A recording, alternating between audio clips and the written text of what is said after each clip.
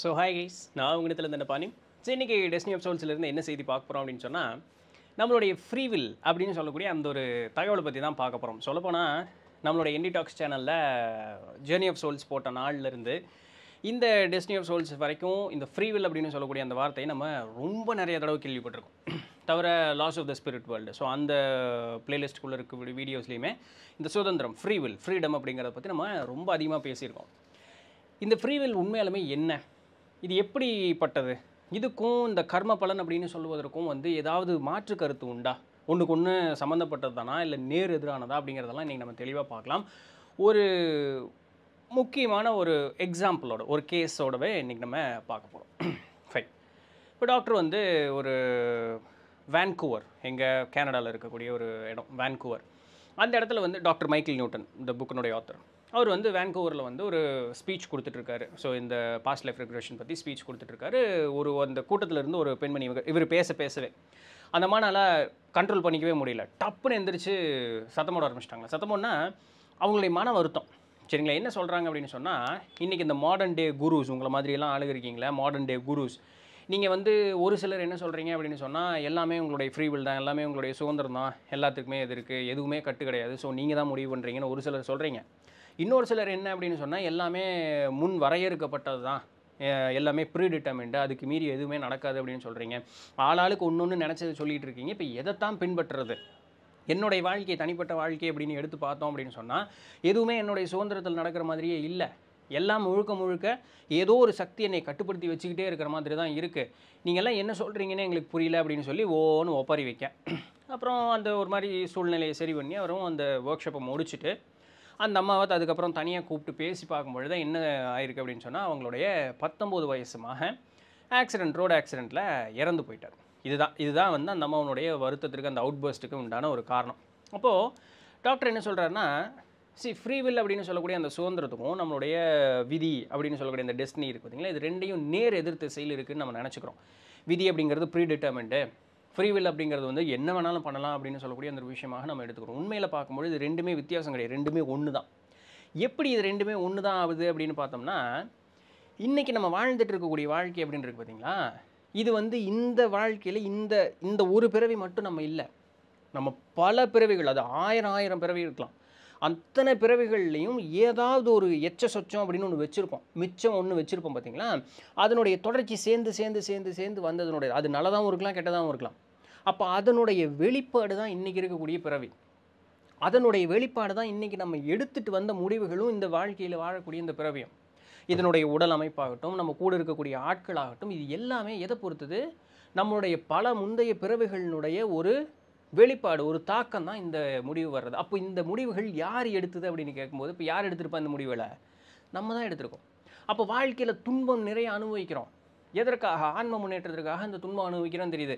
ஆனால் அதனுடைய அந்த புரிதல் இல்லாதவர்கள் வந்து யாரோ தனக்கு இந்த துன்பத்தை விளைத்தவர்கள் சொல்கிறாங்க இந்த துன்பங்கள் யாரோ விளைத்தார்களா அப்படின்னு பார்க்கும் பொழுது அதுவும் இல்லை. இந்த துன்பங்கள் இப்படிப்பட்ட ஒரு வாழ்க்கை வேணும் அப்படின்னு சொல்லி நம்ம வாழ்ந்துட்டு வாங்கிட்டு வரதே யார்? It is our own personal choice நம்ம தான் அதை வந்து பார்த்து புரிஞ்சுக்கோ இப்படியெல்லாம் இருக்கா? ஆ சரிப்பா நான் அதை எடுத்துகிட்டு போகிறேன் இது வந்து என்னுடைய ஒரு முன்னேற்றத்துக்காக பேர் உதவியாக இருக்கும் அப்படின்னு. வரும்போது மறந்து போயிடுது இந்த உலக விஷயத்தில் இங்கே வந்து நம்ம ஈடுபாடு கொண்டுடுறோம். எதற்காக அந்த துன்பமான ஒரு வாழ்க்கை வாழ்ந்துட்டு வந்தவங்க வாங்கிட்டு வந்தவங்கிறதே மறந்துடுறோம். இந்த விஷயத்து கூட உலக விஷயத்து கூட சேரும் பொழுது ஆன்ம முன்னேற்றம் விட்டுறோம் இதுதான் நிதர்சனம் அப்படிங்கிற ஒரு நிலை அப்படிங்கிறது நமக்கு வந்துடுது இப்போ யாரோ ஒருத்தங்க நம்மளை பிடிச்சி வச்சுட்டு இருக்கிற மாதிரி நமக்கு ஒரு எண்ணங்கள் அப்படிங்கிறது வந்துடுது இப்போ இதில் என்ன இப்போது அந்த முன்னாடியே ஒரு அம்மா வந்து கொஞ்ச முறையாக நடந்தாங்க பார்த்தீங்களா இப்போ அந்த அம்மாவுடைய கரெக்டாக ஒரு டாக்டர் விசாரித்து பார்க்கும்போது தெரியுது அந்த அம்மாவனுடைய பையனுக்கு வந்து அந்த மோட்டார் சைக்கிள் ஓட்டுறது அப்படிங்கிறது ரொம்ப ஆர்வம். சரிங்களா? இப்போ இது ஓட்டும் பொழுது பார்த்தோன்னா அந்த அம்மாவும் அனுமதி கொடுத்துருக்காங்க. அப்போது அதில் வந்து அந்த வேகமாக போய் அந்த ஸ்டண்ட்டு பண்ணி அது இதில் வந்து அவன் வந்து என்ன ஆயிடுறான்? ஒரு கட்டத்துக்கு மேலே அந்த வேகத்திற்கும் அந்த ஒரு அட்ரினல் பம்புக்கு வந்து அவன் பயங்கர அடிக்ட் ஆயிடுறான். அப்போ அதனால வந்து அது அதனால் கண்டிப்பாக ஆக்சிடென்ட் ஆக தானே செய்யும். அதெல்லாம் ஆக்சிடென்ட்டே ஆகாமல் இருக்குமா? அப்படி நடந்த ஒரு நிகழ்வில் அவன் இறந்துட்டான். ஆனால் நம்மனால் அதை ஏற்றுக்க முடிய மாட்டேங்குது. அந்த அம்மா தான் அனுமதி கொடுத்து பண்ணாங்க. அந்த அம்மாக்கே எல்லா ரிசல்ட்டும் தெரியும். இந்த மாதிரி ஆக்சிடென்ட் ஆகும் உயிர் வலிக்கு உண்டான வாய்ப்புகள் இருக்குன்னு தெரியும். அது அந்த பையனுக்கும் தெரியும். எல்லாமே தெரிந்து தான் செஞ்ச ஒரு செயலும் கூட தனக்கு பாதிப்பாக வரும்பொழுது இதற்கும் எனக்கு எந்த சம்மந்தம் இல்லை அப்படின்னு சொல்லக்கூடியது மனித குணமாக மாறிப்போச்சு. இப்போ இந்த பையன் இறப்பதாகட்டும் இந்த அம்மா இப்படி ஒரு இதை அனுபவிக்கணும் அப்படிங்கிறதாகட்டும் எது எல்லாமே மேலே நம்ம முடிவு பண்ணிட்டு வந்தது தான் இது முடிவு பண்ணாமல் ஒரு சிலதும் நடக்கும். அதையும் நம்ம வந்து எதிர்கொண்டு தான் ஆகணும். நல்லா புரிஞ்சுக்கணும். இந்த சுதந்திரம் அப்படிங்கிறது ஒன்று இல்லை. எல்லாமே ப்ரீடிட்டர்மெண்ட் விதிக்கப்பட்டதே அப்படின்னு சொன்னால் நம்ம பிறவி எடுத்துகிட்டு வரோங்கிறதுக்கு ஒரு அர்த்தமே கிடையாது. இல்லையா? பிறவி எடுத்துகிட்டு வரோம் அப்படிங்கிறதுக்கு ஒரு அர்த்தமே கிடையாது. ரீஎன்கார்னேஷன் அப்படின்னு சொல்லக்கூடியதுக்கு ஒரு அர்த்தமே இல்லை. எல்லாமே முடிவு பண்ணி தான் அனுப்புனா அப்போ நமக்கு இங்கே என்ன வேலை இருக்குது அப்போ இந்த இந்த இந்த பொம்மை மாதிரி நம்ம ஆயிரும் இல்லையா? உண்மையிலேயுமே அப்படி கிடையாது. நம்ம யாருடைய பொம்மையும் கிடையாது. அந்த பிறவியினும் உடலையும் முடிவெடுக்கிறதுல இருந்து எல்லா சுதந்திரமும் நமக்கு முழுக்க முழுக்க ஆன்மூலத்திலிருந்தே கொடுக்கப்பட்டிருக்கு. இங்கே வந்து ஒரு முடிவு எடுத்திருக்கோமா? இந்த முடிவை வந்து எடுத்துகிட்டு அதுக்கப்புறம் வாழ்க்கை வாழ்ந்துட்டு மேல் உலகம் போகிறோமா போனதுக்கப்புறம் இந்த முடிவு எடுத்தியே. இந்த மாதிரி இதுக்கு மாற்று இத்தனை முடிவு இருக்கே. இதை கூட எடுத்துருக்கலாமேன்னு சொல்லக்கூடிய அந்த அறிவையும் நமக்கு புகட்டுறாங்க அங்கே. அப்போ அந்த வகையிலையும் கூட நமக்கு வாய்ப்பு ஏற்படுத்தி கொடுத்துட்றாங்க ஆன்ம முன்னேற்றம் அடைகிறதுக்கு அப்போ எல்லா முடிவுகளையும் நம் கை சார்ந்து இருக்கும் பொழுது மகிழ்ச்சி நடக்கும்போது பிரச்சனை இல்லை. அது என்றைக்குமே பிரச்சனை இல்லை மகிழ்ச்சி நடக்கும்போது. துன்பம் அப்படிங்கிறது ஒன்று விளையும் போது இதுக்கு எனக்கு எந்த சம்மந்தம் இல்லை. இது வந்து என்னமோ ஒரு காரணத்தினால தான் நடக்குது அப்படிங்கிற ஒரு மனோநிலைக்கு நம்ம வந்து வந்துடுறோம். இப்போ ஒருத்தங்க வந்து இறக்கிறாப்பில் கனவு காண்றாங்க. இல்லை ஜோசியத்தில் சொல்கிறாங்க ஏ நீ செத்து போயிடுவிடா அப்படின்னு. அவன் சாகலை. சரிங்க அவன் சாகலை. இப்போது அவன் கண்ட கனவோ இல்லை சொன்ன குறியோ இதெல்லாம் தவறு அப்படின்னு கே கேட்டால் இல்லை. அதை நல்லா புரிஞ்சுக்கணும். கண்ட கனவோ சொன்ன குறியோ தவறு இல்லை அது நடக்கிறதுல ஒரு வாய்ப்பு தான் அது. அதை காட்டிலும் நீங்கள் உயிரோட இருக்கணும் அப்படிங்கிற சொல்லக்கூடிய அந்த ஒரு வாய்ப்பு இருக்குது பாருங்க. அதற்கு பலம் அதிகம். நீங்கள் அந்த முடிவு எடுத்துகிட்டு வந்துருங்க உங்கள் மைண்டில் அது விதைஞ்சிருக்கு. அதனால தான் அந்த இறப்புலேருந்து நீங்கள் தப்பிச்சு மீண்டு வந்திருப்பீங்க. அப்போ இதெல்லாம் நிறைய பிரான்ச்சஸ் இருக்குது நிறைய வாய்ப்புகள் வந்து இப்படி நமக்கு பிரிஞ்சு வருது. இந்த சுதந்திரம் அப்படின்னு சொல்லக்கூடிய அந்த ஒரு விஷயமும் இந்த விதிக்கப்பட்டது அப்படின்னு சொல்லக்கூடிய இன்றைக்கி வந்து மதம் தான் அதை சொல்லிட்டு இருக்கு இல்லையா? இப்போ இந்த சுதந்திரங்கிறதுக்கும் இந்த விதிக்கப்பட்டது அப்படின்னு சொல்லக்கூடிய ரைட் ஆப்போசிட்டான ஒரு விஷயம். இந்த எல்லாமே விதிக்கப்பட்டது அப்படின்னு சொல்லும்போது ஒரு மேல் ஒருத்தன் படைத்தவனாகவும் படைத்தவனுக்கு கீழ் நிறைய வேலை செய்யக்கூடியவர்களாகவும் அவர்களுக்கு கீழ் மனிதர்கள் இருக்கக்கூடியவர்களாகவும் இந்த பூமிங்கிறது வந்து படைக்கப்பட்டது. இந்த பூமியில் வந்து நோய்வாய் எல்லாம் கொடுத்து இந்த நேச்சுரல் கெலாமிட்டிஸ் எல்லாம் கொடுத்து அவங்க தான் பண்ணி வச்சதாக இருக்குது இது ஓரளவு ஓரளவு இது உண்மைதான் அப்படின்னு சொன்னாலும் கூட ஏன்னா முன்னாடி நம்ம பார்த்துருக்கோம் எப்படி வந்து ஆன்மாக்கள் வந்து இதெல்லாம் படைப்பாங்க அப்படின்னு சொல்லிட்டு. நல்லா புரிஞ்சுக்கணும். அவர்கள் படைத்தாலும் கூட இயற்கை சூழல் அப்படிங்கிறது தானாக எவல்யூஷன் அப்படிங்கிறதும் நடக்கும். அப்போ இயற்கை சீற்றங்கள் தானாக நடக்கும். மனிதனுடைய பரிணாம வளர்ச்சி அப்படிங்கிறதும் தானாக நடக்கும்.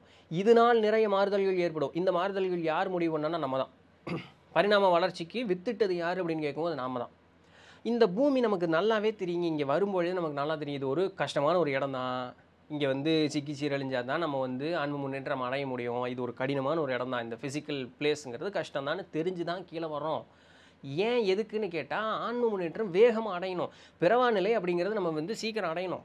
பிறந்துக்கிட்டே இருந்தோம்னா துன்பம் இருந்துக்கிட்டே தான் இருக்குது அப்போ பிறவா நிலை அடையணும். அப்போ எது துன்பம் அதிகமாக இருக்கும் பொழுது அந்த நிலையிலையும் மன அமைதி பெறும் பெறுறோம் அப்படின்னு சொல்லும் பொழுது ஆன்ம முன்னேற்றம் அந்த இடத்துல வேகமாக நமக்கு சித்திக்குது. இதற்காக தான் இந்த பூமியை தேர்ந்தெடுத்துட்டே வர்றோம்.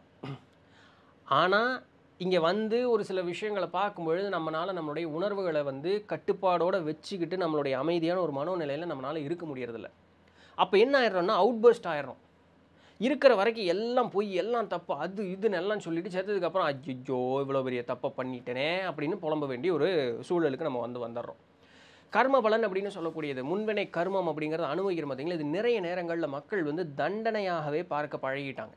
இது தண்டனை இல்லை. இந்த இயற்கை எல்லாத்தையும் ஒரு பேலன்ஸில் வச்சுட்டே இருக்கும். இது எதுவுமே தண்டனை கிடையாது. நாம் செய்ததை நான் செய்ததற்காக நாம் அனுபவிக்கிறோம். அது என்ன? தண்டனை இல்லை. அந்த ஒரு சில விஷயங்களை வந்து நாம் அனுபவித்து திருந்தணும் அப்படிங்கிறதுக்காக கொடுக்கப்பட்ட ஒரு சில விஷயங்கள் தானே. அன்று மித்தபடி வேறு எதுவுமே கிடையாது. முன்னாடி நம்ம பார்த்தோம். ஒரு பொண்ணு வந்து இந்த புல்லட்டு எவனோ ரெண்டு பேர் குடிச்சு போட்டு சண்டை போட்டுக்கிட்டு இருந்தவன் இது ரேண்டமாக ஒரு புல்லட் பட்டு அந்த பொண்ணு செத்து போச்சு. நாமரில்லோ டெக்ஸஸ் மாகாணத்தில் அப்படின்ட்டு.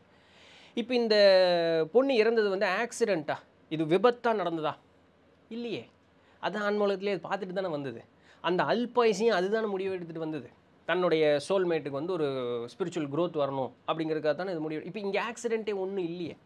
இறப்பை தான் அங்கே காமிச்சே அனுப்பிச்சிட்டாங்களே. இல்லையா? ஸோ இந்த மாதிரி விஷயங்கள் எல்லா இடத்துலையுமே நம்ம தெரிஞ்சு தான் வரோம். இங்கே ஏன் வந்தால் நமக்கு வந்து இந்த ஒரு அம்னீஷியா ஸ்பிரிச்சுவல் அம்னீஷியாங்கிறது ஏன் வருது அப்படின்னு சொன்னால் உங்களுக்கு ஆல்ரெடி எல்லாம் தெரிஞ்சு போச்சு அப்படின்னு சொன்னால் உங்களுடைய வாழ்க்கை அப்புறம் அப்புறம் என்ன வாழ்கிறீங்க இதுதான் உண்மையிலுமே ரோபோட்டிக்கான ஒரு விஷயம். உங்களுக்கு எல்லாமே தெரிஞ்சு போச்சு அப்படின்னு சொன்னால் உங்களுக்கு அங்கே என்ன வாழ்க்கையில் என்ன சுவாரஸ்யம் இருக்கும்? இப்போது உங்களுக்கு மேலே வந்து எல்லாத்தையுமே காட்டுறாங்கன்னா ஒரு சில விஷயங்கள் முக்கியமான விஷயங்களை மறைப்பாங்க. காரணம் என்னென்னா அந்த முடிவுகளில் நீங்கள் தனியாக எடுக்கணும் அப்படிங்கிறதுக்காக. அப்போது அந்த சுவாரஸ்யங்களோட உங்களுடைய வாழ்க்கையில் இல்லை அப்படின்னு சொன்னால் அந்த முடிவுகளை நம்ம சரியாக எடுத்து பழகலை அப்படின்னு சொன்னால் ஆன்ம முன்னேற்றம் நடக்கவே நடக்காது. ரொம்ப ரொபோட்டிக்காக இருக்கும் நம்மளுடைய லைஃப் இதனால் ஒரு பயனுமே இல்லை. நீங்கள் இங்கே வர்றதுலையும் போகிறதுலையும் ஒரு அர்த்தமே இல்லை. இல்லையா? அப்போ நம்மளுடைய ஆன்ம முன்னேற்றம் நடக்கணும் அப்படின்னு சொன்னால் முழுமையான பிடி நம்ம கையில் தான் இருக்கணும். நம்ம தான் அதை வந்து செயல்படுத்தக்கூடிய ஒரு ஆளாக இருக்கணும். அப்போ தான் உண்மையாலுமே ஆன்ம முன்னேற்றம் அப்படிங்கிறது நடக்கும். கரெக்டு தானே? இதுதான் நம்ம உலகத்தில் நடந்துகிட்டு இருக்கு. நம்ம வந்து யாருமே நம்மளை இப்படி வந்து பொம்மையாக கட்டுப்படுத்திக்கிட்டலாம் கிடையாது. அதை வந்து நம்ம ரொம்ப நல்லாவே புரிஞ்சுக்கணும். So there is free will self determination எல்லாமே நம்ம தான் அப்படிங்கிறது சொல்லக்கூடிய அந்த ஒரு உத்வேகம் நமக்கு வந்து வரணும். இதற்கு துணையாக நமக்கு வந்து பெரியவங்க நம்மளுக்கு உதவி செய்கிறதுக்கெல்லாம் துணையாக இருக்காங்க. இல்லைன்னு இல்லை. சமயம்னால் முடியல வந்து காப்பாற்று அப்படிலாம் வரமாட்டாங்க.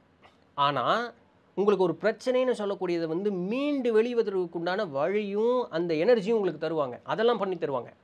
ஆனால் உங்களை அப்படியே அலேக்க தூக்கிட்டு போய் அந்த பக்கம் வைக்கிறது அப்படிங்கிறது பண்ண மாட்டாங்க. ஏன்னா அப்படி பண்ணுனா அப்புறம் உங்களுக்கு எங்கே வளர்ச்சி இருக்கும்? அப்பா தப்பிச்சிட்டையா சாட்டிஸ்ஃபை ஆயிடுவீங்க அந்த பிரச்சனையை ஃபேஸ் பண்ணி மீண்டு வெளியே வருவது உங்களுக்கு எப்படின்னே தெரியாமல் போயிடும். இப்போ இதில் ஒரு இது சொல்லட்டுமா? அந்த சுதந்திரம் அப்படிங்கிறது வந்து ஃப்ரீவில் அப்படிங்கிறது எந்த அளவுக்கு அதில் வேலை செய்யும் அப்படிங்கிறது ஒரு எக்ஸாம்பிளோட இருப்பாருங்க ஒரு பேட்டில் ஆஃப் கெட்டிஸ்பர்க் நெட்டில் தேடினீங்கனாலே வரும். பேட்டில் ஆஃப் கெட்டிஸ்பர்க் அப்படின்னு ஆயிரத்தி எட்நூற்றி அறுபத்தி மூணாவது வருஷம் நடந்த ஒரு போர். சரிங்களா? பேட்டில் ஆஃப் கெட்டிஸ்பர்க் அப்படின்னு சொல்லிட்டு.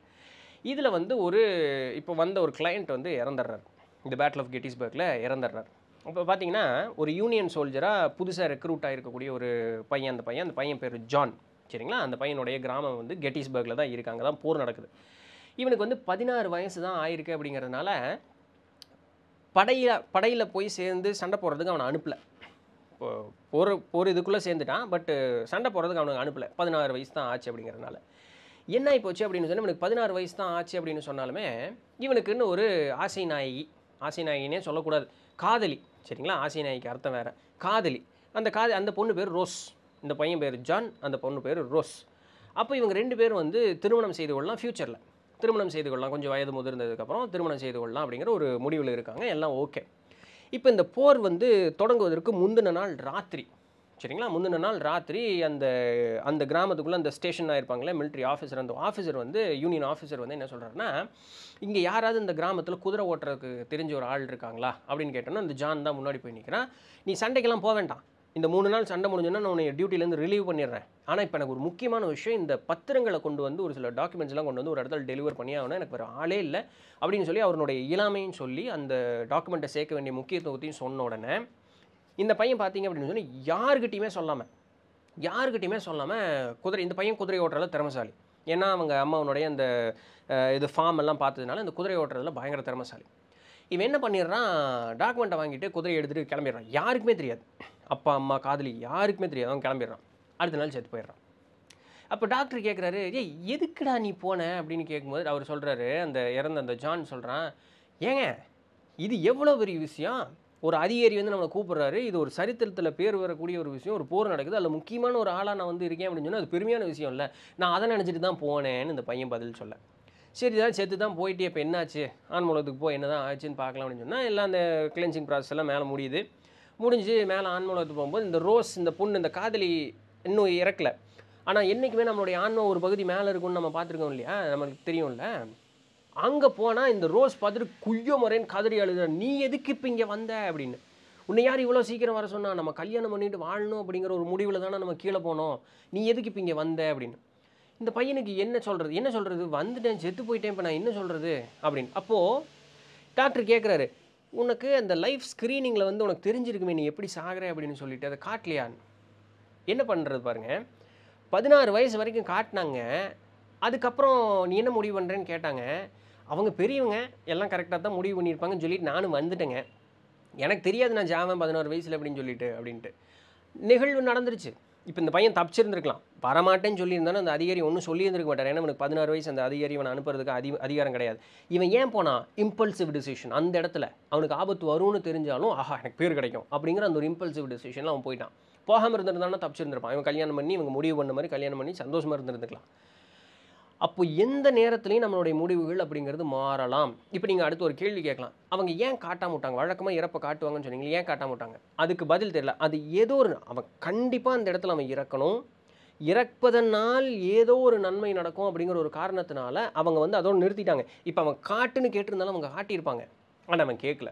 ஸோ அந்த இடத்துலையும் இவனுடைய சுதந்திரத்தை விட்டான். அவங்க அதோடு நிறுத்திட்டாங்க. உனக்கு ஓகேவான்னு அவன் ஓகேன்ட்டான் ஸோ எல்லா இடத்துலையுமே நமக்கு வந்து அந்த இடத்துல சுதந்திரம் அப்படிங்கிறது முழுக்க முழுக்க உண்டு. ஸோ இந்த பேட்டில் ஆஃப் கெட்டிஸ்பர்க்கில் இது நடந்த ஒரு விஷயம் உண்டு.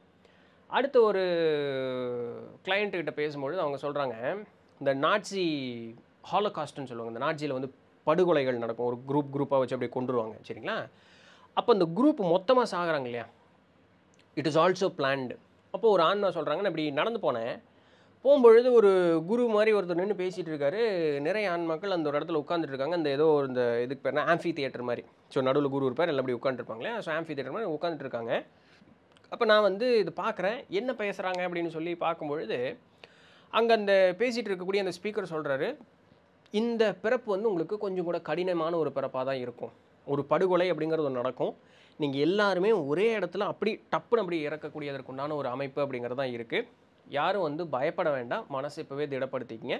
இது இப்போது நிகழ்ந்து ஆக வேண்டிய ஒரு கட்டாயம் அப்படிங்கிறது இருக்குது பட் இந்த பிறப்பு இப்படி தான் இருக்கும் அப்படிங்கிறது நீங்கள் மென்டலாக நீங்கள் ரெடி ஆகிக்கிங்க இந்த ஒரு இடத்துக்கு தான் நீங்கள் போக போகிறீங்க அதனால இந்த உலக இச்சைகள் வந்து நீங்கள் எப்படி வேணால் சந்தோஷமாக இருங்க. அதனால் எந்த விஷயம் எந்த எந்த பிரச்சனையுமே கிடையாது. நீங்கள் பயங்கர ஜாலியாக இருங்க. எந்த விஷயமும் இல்லை. ஆனால் குறுகிய ஆயுட்காலம் தான் நீங்கள் இருக்க போகிறீங்க அதற்கப்புறம் நீங்கள் மேலே வந்ததுக்கப்புறம் அடுத்த ஆயுட்காலம் உங்களுக்கு நீண்ட ஆயுட்காலமும் உங்களுக்கு விருப்பப்பட்ட மாதிரி தரப்படும் அப்படின்னு சொல்கிறத நான் பேச்சு கேட்டுட்டு இருந்தேன் அப்படின்னு சொல்லிட்டு இவங்க சொல்கிறாங்க ஸோ இந்த மாதிரி விஷயங்கள் முன்னாடி ஒரு சில விஷயங்களை சொல்லி நமக்கு அனுப்புகிறாங்க திருப்பவும் சொல்கிறேன் ஏங்க இப்போ சொல்லி அனுப்புகிறாங்கன்னா அப்போ அவங்களே கொலை பண்ணுறதுக்கு அனுப்புகிறாங்களா இது என்ன ஆட்டு கிட பலி கொடுக்கறதுக்கு அனுப்புகிற மாதிரி இருக்குன்னு உங்களுக்கு கண்டிப்பாக மனசில் தோணும்.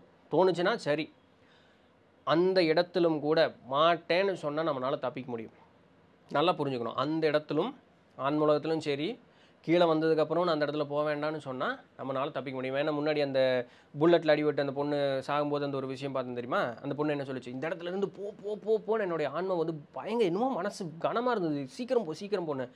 நான் தான் கேட்காம அந்த இடத்துல நின்றுக்கிட்டு இருந்தேன். ஏன் அப்படி நின்னனே தெரில நான் நின்னே என்னை போட்டு தள்ளிட்டானுங்க அப்படிங்கிற மாதிரி.